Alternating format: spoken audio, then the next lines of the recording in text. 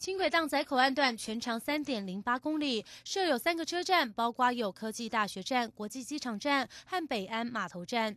招标工作已完成。运建办一共收到十四份标书，预计工时约一千天，二零一五年完工。按照原定计划，轻轨一期项目要在今年内全面动工，但目前已经开标的项目只有淡仔市中心段和口岸段。而陆荡城东段还在招标，为了争取轻轨一期在二零一五年投入运作，各段轻轨站的建设完成判给后就会及时动工。